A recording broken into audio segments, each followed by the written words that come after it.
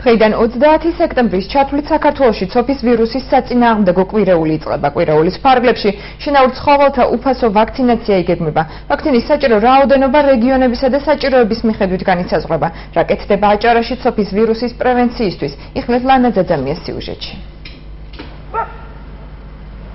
ოფიციალური მონაცემებით აჭარაში ბოლო ერთი თვის განმავლობაში ცოფის ვირუსის საწინააღმდეგო აცრის მსურველთა მომართვიანობა გაზრდილია.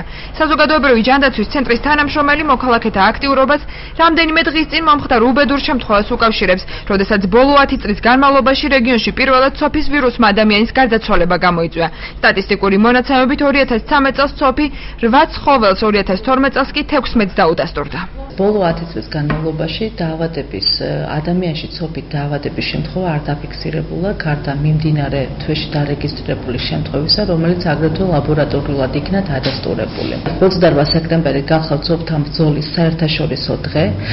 წლევანდელ წელს იმართება კვირეული, რაც მოიცავს ცხოველების ვაქცინაციას უფასოდ ეს განხორციელდება სურსათის ეროვნული სააგენტოს მიერ.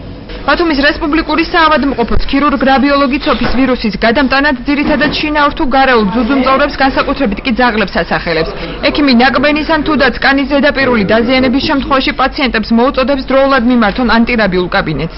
მომართვიანობა არის 100-დან 125-130 გააჩნია სეზონს. ზაფხულში მომართვიანობა მეტია, ზამთარში უფრო ნაკლები. Ну სოფის გამოწვევი მიზეზი სოფის ვირუსია რომელიც ბუნებრივი რეზერვუარი არის გარეული და შინაური ცხოველები კერძოდ ძუძუმწოვრები ადამიანის დასნეულება შეიძლება დაავადებული ცხოველიდან. და როგორც წესი დაგაწრის დაგმენის შემთხვევაში ძაღლის, კატის, ასე გარეული ცხოველების მიერ. უნდა მიმართონ ექიმს, უნიშნულო ნაგაწრის კი რო იყოს.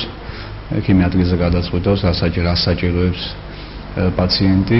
მას შემდეგ რაც სანდასუფთავების სამსახური მაწანწალა ძაღლებს აღარ ხოცავს პირუტყვთა რაოდენობამ ბათუმის ქუჩებში იმატა. უფლებადამცველი ლელა ბჟალავა მიესალმება სანდასუფთავების სამსახურის გადაწყვეტილებას, თუმცა ცხოველთა ვაქცინაციისა და თავშესაფრის აშენების აუცილებლობაზე საუბრობს. ქალაქ ბათუმის მერიამაც ეს უნდა მიიღოს ომები, გამოსცეს დადგენილება, რომ ცხოველების მიმართ არ ხორციელდებოდეს ასე ხოცვა ჟლეტა და ისინი უნდა განთავსდეს თავშესაფარში და და ეგ რაფია დაავადყოფებული ძაღლები უნდა აცრან. ქალაქის მერიაში განმარტავენ, რომ ცხოველების ვაქცინაციისა და თავშესაფარში განთავსების პროგრამა მომდენო წლამდე ვერ ამოქმედდება.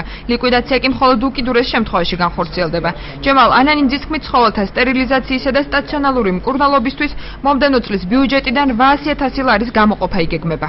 სამომავლოდ ფიქრობ, რომ ბიუჯეტის ფორმირება ხდება, ჩავდოთ ბიუჯეტში იმ სისტემის მოწყობისათვის და პროექტებისათვის და შემდგომშენებლობისათვის თანხებით, რომლის მიხედვითაც მოხდება სამომავლოდ თანამედროვე მეთოდებით მაძანძალა ცხოველებზე რეაგირება. სოფლიოში არის მაგალითი, რომ მაძანძალა ცხოველი ქუჩაში დადის, ოღონდ იმ პროცედურების გავლის შემდეგ, რომელსაც ითვალისწინებს თანამედროვე მეთოდები, ის არის უკვე არასაშიში საზოგადოებისათვის. სოფის კვირეული საქართველოს 30 სექტემბრის ჩათვლით გაგრძელდება მის ფარგლებში რეგიონის მასშტაბით ყველა მუნიციპალიტეტის შინაური ცხოველი უფასო დაიწრება.